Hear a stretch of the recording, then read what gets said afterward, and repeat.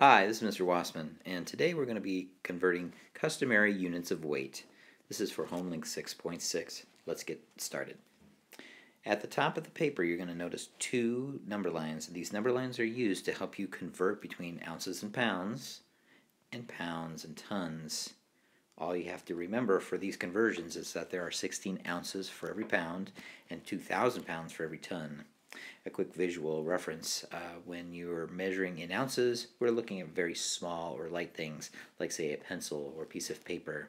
Pounds, we're getting into everyday objects such as a bowling ball or a textbook or a person.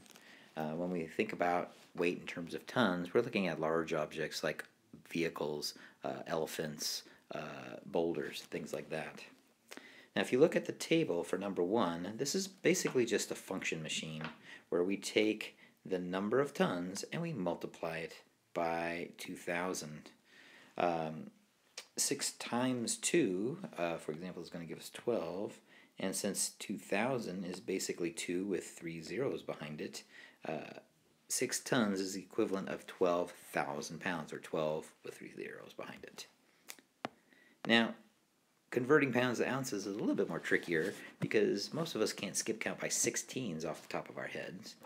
Uh, so we're going to start with number five, uh, with five pounds. If you take a look up at the top, five pounds is the equivalent of 80 ounces.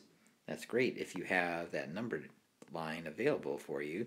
But if you don't have that number line available, or say for example, if we're looking at a, a conversion, say 15 pounds, and the number line does not exceed 10, it gets a little trickier.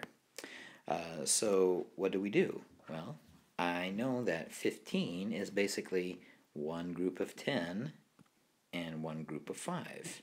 So I can take the amount of ounces in 10 pounds and add it to the amount of ounces in 5 pounds. Well, 16 plus 8 is going to give me 24, so 16 tens plus 8 tens is going to give me 24 tens, otherwise known as 240. Now once you complete both tables, you'll be able to answer the story problems for number 3 and 4. And then down at the bottom, we are just going to be adding or subtracting fractions. Now, when we're looking at fractions, we have to make sure that the denominators, or the bottom numbers, are always the same. So in a problem like 4 eighths plus 3 eighths, that's pretty simple. You're just going to add the top numbers. But when we get into, say, fractions with unlike denominators, 5 tenths plus 3 hundredths, one of those fractions has to be converted to the other denominator. I like to think of these problems in terms of pennies and dimes. So if I have five dimes, how many pennies is that equivalent to? If you have any questions, have your parents, please email me. Otherwise, uh, we will talk to you tomorrow. Thanks.